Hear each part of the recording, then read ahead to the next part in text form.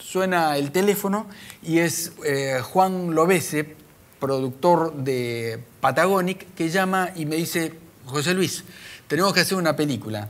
Es una película chiquita, eh, de muy bajo presupuesto, y que la va a dirigir un director primerizo, que se llama Martín Piroyansky. Ah, Martín Piroyansky es un actor que nosotros conocemos porque hicimos con él al menos dos películas. Este, hemos doblado con él distintas escenas de esas películas y eh, había muy buena onda. Fantástico. Además, habíamos visto un corto dirigido por él que se llama, creo que se llama No me quiere o no me ama, no, me acuerdo muy bien. Que era ingenioso, este, simple, inteligente, buenísimo, bueno, bárbaro.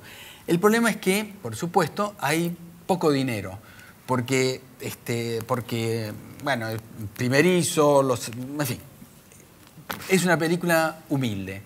Eh, al punto que se va a filmar toda en un, único, en un único decorado.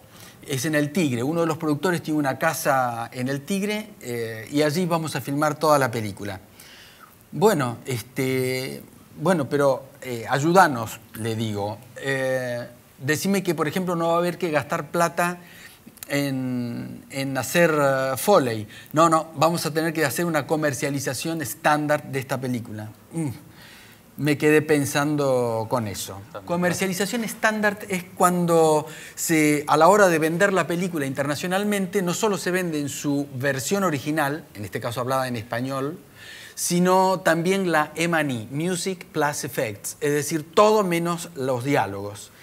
Eh, y además se vende en distintos formatos, 5.1, eh, estéreo, en unas letras que se llaman LTRT, eh, a 25 cuadros por segundo, a 24 cuadros por segundo y a 23.976, es decir, para abastecer a todos los mercados y soportes posibles.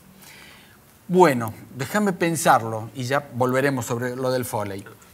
necesitan hacer Foley para tener todo separado del diálogo porque se dobla todo. Entonces tienen que tener todos los ruidos aparte a la voz. Entonces tiene que sacar todo, generar ruidos nuevos y poner la voz encima. Por eso tenía que hacer Foley, ¿no? Correcto. Muy bien, muchas gracias. Eh, bueno, déjame pensarlo. Pero empecemos por ver dónde queda esta, este, este lugar. La ciudad de Buenos Aires, en este, en este lugar, ¿ya, ven, ¿ya vieron dónde quedaba Buenos Aires? Siguiente, por favor. Ok. Paraná de las Palmas, el río Durazno, eso era. Y ven ese puntito que estoy señalando. Siguiente zoom. Y ven este puntito que estoy señalando. Ok, y ahí está la casa en cuestión. ¿Puedes ir una para atrás, por favor? Sí. Ok. Y este es el canal de la Serna, que es un canal harto concurrido es una, no diría autopista, pero es una avenida desde el punto de vista este, del desplazamiento fluvial.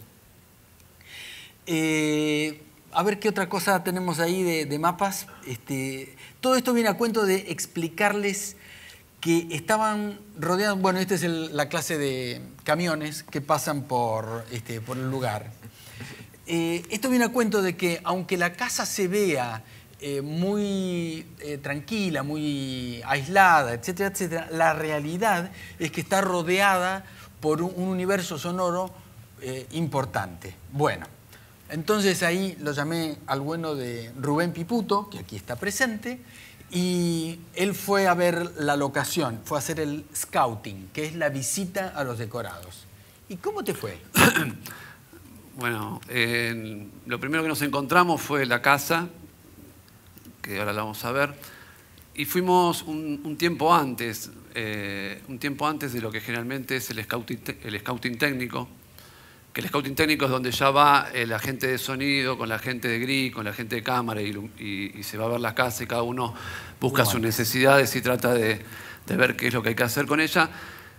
Raramente me llevaron un tiempo antes a ver la casa. ¿Por qué? Porque teníamos un primer problema, que toda la película, salvo una escena, se iba a grabar en esa casa. Y la película tiene tanto exteriores como interiores, y el problema era que qué pasaba si llovía. Eh, dónde íbamos a hacer la cobertura. Todas las películas tienen una planificación en donde nunca, jamás se deja de filmar. Si llueve, se pasa a una escena que se llama cobertura, una locación que permita eh, trabajar con lluvia, Entonces así la película se transcurre a lo largo de todas las semanas eh, sin parar, porque parar una película porque llueve sería mucho dinero. Entonces las películas nunca se paran, se arrancan y se terminan. Entonces fuimos a ver esta casa y la preocupación era, el techo es de chapa, entonces si llueve tenemos que filmar adentro, pero ¿qué va a pasar con el sonido? Entonces obviamente la película no tenía una, producción, una envergadura de producción como para poder hacer una infraestructura, una mega, una mega producción de cosas. Porque ¿cómo sería si hubiera plata y tiempo? Porque tal vez si hubiera plata y tiempo se podría haber puesto una media sombra levantada del techo para que rompa la gota y que caiga sobre una membrana que hayamos puesto para que la gota ya caiga con más debilidad y no golpee tanto sobre la chapa y zará, zará, zará. Pero todo esto no se podía hacer por dos razones importantes, que no había mucho dinero para andar pensando en cosas grandes y que también si no llovía había que filmar afuera. Y si filmamos afuera, ¿quién iba a sacar semejante estructura tan rápido? Y a la vez también nos dimos cuenta que todo eso no hubiese servido porque, analizándolo con José Luis, nos dimos cuenta que la casa no tiene desagües pluviales, entonces por más que no choque el agua contra la chapa, el agua iba a correr sobre la chapa, iba a caer como un montón de regaderas alrededor de la casa sobre el charco que se iba a generar. Al ratito que eso empieza a pasar, e iba a sonar el charco, el piso es flotante, entablonado, no aísla de nada y todo lo que sonaba abajo iba a escucharse arriba. Conclusión, no había nada que hacer. Entonces la respuesta fue, ¿qué hacemos con esta casa? Nada. Vamos así. Entonces, pensando qué recursos teníamos, uno de los recursos que, nos salvaron fue, contábamos con un asistente de dirección muy, muy, muy experimentado, le dicen Checho en el medio, Fernando Alcalde, ¿no? Correcto. Que hizo magia con el plan de filmación. El director, la verdad que un director que aprovechó al máximo la experiencia de cada uno que tenía al lado, entonces eh, accedió a esto de decir, bueno, ok, cuando los días están lindos, filmamos afuera, cuando llueve, filmaremos adentro, pero no filmamos adentro las escenas con mucho diálogo y empezar a hacer un enorme rompecabezas todos los días con el plan para que si llovía mucho, filmamos las escenas que no tenían diálogo, eh, los planos de detalle, lo sé, y cuando paraba de llover o la gota no pegaba tan fuerte, hacíamos las escenas con diálogo. Y así fue como salteamos el problema de la lluvia. O sea, solo con la buena voluntad del asistente de dirección, del director, que íbamos eh, modificando el plan eh, a medida que, que las condiciones climáticas nos lo permitían. Igualmente tuvimos bastante suerte, si bien empezamos con mucha lluvia, no llovió a lo largo de toda, toda la película muchas veces, y bueno, ellos dirán, creo que el directo se pudo hacer y está bastante bien. ¿Dónde pusieron el generador? Eh, bueno, otro problema que, teníamos era la luz. En principio, la idea, el plan de producción era que íbamos a usar la luz del lugar, pero la luz del lugar es, muy inestable. Entonces, eh, ¿qué pasaba si se cortaba la luz? Y el mismo problema, nunca se puede dejar de filmar. Entonces había que contar con un generador. Los generadores, eh, todos lo saben, hacen muchísimo ruido y hay que ponerlos lejos. Y acá teníamos un problema. ¿Cómo, ¿Cómo hacíamos para ponerlos lejos? Esa es la casa en cuestión donde filmamos y esto es una lancha colectiva que nos estaba llevando a comer. Aproveché para hacer una toma de donde Eso que marco son unos cables. Entonces, esto nos da una, una, idea de qué hicimos con el generador. Lo que están ahí son las líneas de tensión que está marcando José Luis, que las, tuvimos que, las tuvieron que levantar los chicos porque eh, el río este a la vez sube y baja todo el tiempo, entonces no podían quedar las líneas bajo el agua. Y bueno, y estamos en búsqueda del generador. Bueno, allí también se ven. Ahí van pasando las líneas. Y esto es importante. ¿A dónde fue a parar el generador? Ahora lo vamos a ver. Al máximo que dan la caída de tensión de las líneas. Porque también hay un problema técnico que uno no puede, por más buena voluntad del mundo que querramos, poner el generador a mil metros. O sea, hay, hay un límite que nos da la sección del cable y la caída de tensión. La verdad que también tuvimos suerte de contar con un equipo de eléctricos eh, muy accesible que, bueno, que permitió que podamos hacer esto. O sea, que vieron la distancia en metros. Hay una foto. Sí. El generador quedó sostenido en una balsa, esto gracias también a un diseño de la gente de producción, eh, con la gente del Tigre, que, que, conocía este tipo de embarcación que se alquilan. Entonces se puso una balsa Esos palos que tiene, eh, esos cuatro palos, en realidad son, están clavados en el fondo y montados sobre como unos bujes que tienen unos aros para que cuando sube la marea, eh, aunque es río, también se llama marea, lo aprendí allá, eh, sube y baja la balsa y el generador sigue flotando y no, se, y no se va para ningún lado. O sea que el generador subía y bajaba como subía y bajaba el río. Bueno, ese fue el segundo problema. Así todo, eh, es un lugar complicado porque es muy, el tigre es muy activo en cuanto a lo que pasa eh, con el sonido. O sea, hay mucho sonido, hay mucho ruido en el tigre. Entonces, cuando y hay viento, hay follaje, hay un montón de cosas que van cambiando todo el tiempo. Entonces, un problema que a veces el generador parecía no escucharse y todos estábamos contentos, pero cuando todo el viento se paraba, o había una pequeña brisa que iba hacia la casa, realmente el, generador volvía a escucharse. Pero igualmente estuvo a una distancia bastante eh, importante como para poder nosotros trabajar, eh, mantener una buena relación entre la señal que queríamos obtener y el ruido del generador en los diálogos. Una, una cosita, cuando la, relación señal-ruido, diálogos, fondo, es eh, suficiente en cantidad de veces, no es que podemos hacer maravillas, pero estamos salvados, porque hay un montón de artilugios que podemos utilizar en la postproducción para lograr la distinción necesaria y oír lo único útil que son los diálogos, las voces. En este caso, afortunadamente por este cuidado y esfuerzo que hizo producción este, y los eléctricos especialmente, eh, hubo una relación señal-ruido perfecta, suficiente ejemplar, dicho de otra manera. ¿Querés hablar un poco de, los micrófonos? Sí, una cosa que, bueno, ese era, ya teníamos solucionado el problema del generador y hablado el tema de la lluvia, pero como les volví a decir, creo que eh, digamos, el éxito de esta película también fue eh, de, poder tener un buen sonido, es contar con, la, verdad que con un excelente microfonista, eh, Facundo Girón, Paco, que utilizó al máximo la, la seguridad para poner el micrófono lo más cerca posible de los personajes todo el tiempo. Porque, como vimos en el, plano, de las cosas, uno de los problemas que teníamos, a 500 metros teníamos el de la Serna, el, canal este del río, que pasaban embarcaciones muy grandes. Y esas embarcaciones hacen mucho ruido. Y suenan casi como un generador a distancia. Y nosotros queríamos que la casa esté aislada por toda la historia de la película y eso no se escuche.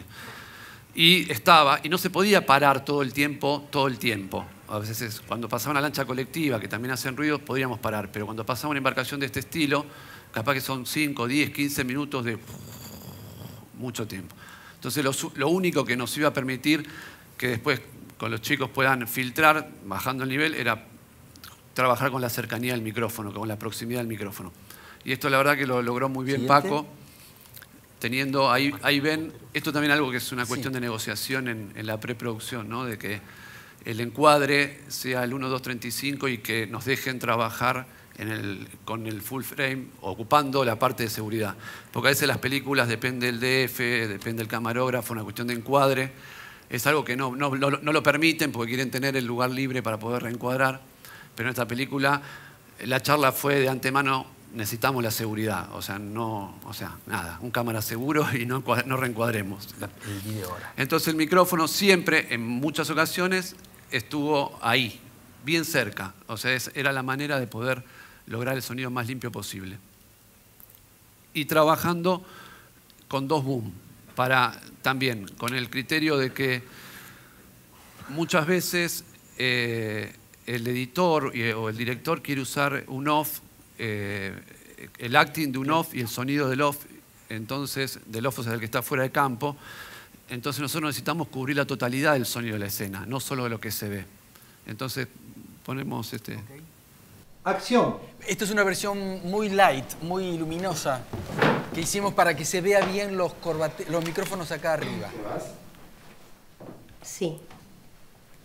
¿Me vas a dejar con Nacho? Sí, me, me voy con Nacho.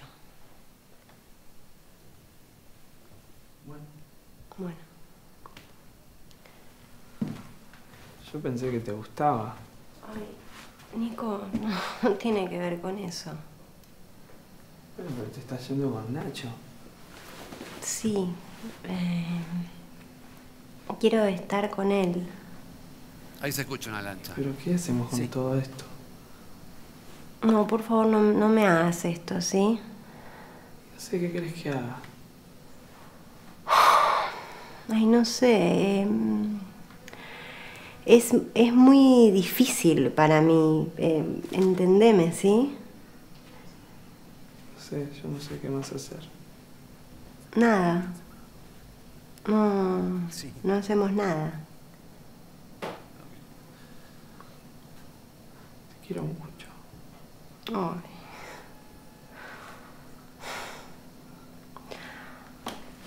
Ay, yo también. Bueno, ahí cuando se juntan, la idea es que para facilitarle la, la- edición al editor de diálogo, No, sí, me es tomar la decisión de una sola caña.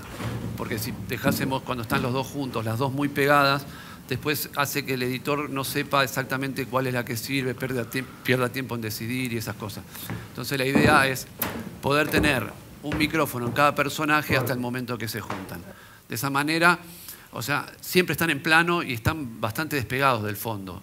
Muy distinto sería tener un solo micrófono en donde el encuadre mantiene a los dos personajes bastante lejos y distantes unos del otro y el microfonista tener que viajar de punta a punta. La gente no llega a hacer todo ese recorrido. Entonces termina, lo que, lo nosotros hacemos es promediando un poquito. Al promediar, la distancia del micrófono frente a la voz pasa a ser mucho mayor y no vamos a obtener nunca ese plano y esa diferencia con el fondo. Lo que esa lancha que pasó en ese momento hubiese sido un problema muchísimo más grave.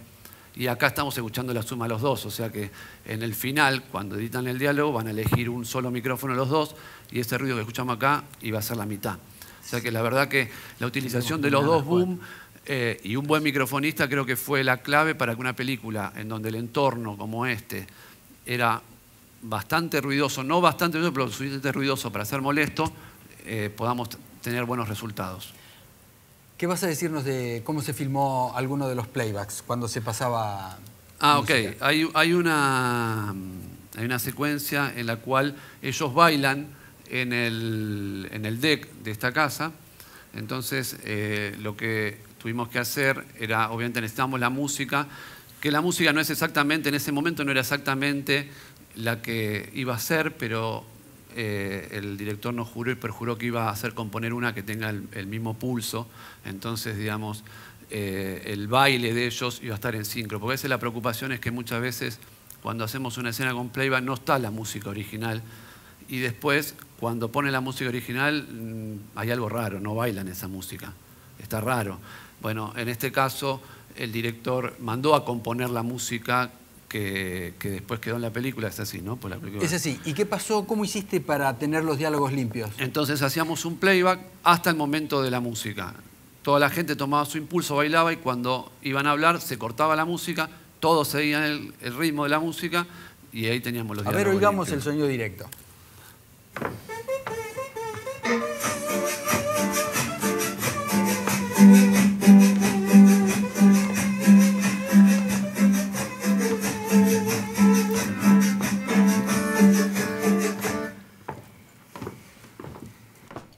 Mayor miedo es bailar como un padre. Ay, sí, qué miedo, por favor. Como, como nunca te das cuenta, pero un día estás bailando como un papá y pasó el tiempo, ¿no?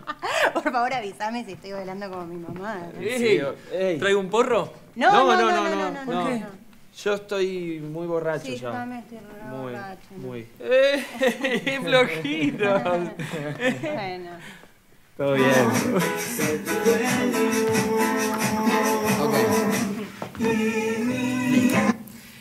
Esto es lo que también, eh, estrategia que siguió Javier en los momentos del vals, de los novios, etcétera, etcétera, para que todos tengan, es la misma estrategia de trabajo. Música para darles el pulso a los bailarines y darle el tempo más o menos que deben de mantener eh, y eliminar la música para cumplir la función de ser grabadores de diálogos lo más limpio posible sin necesitar doblarlo.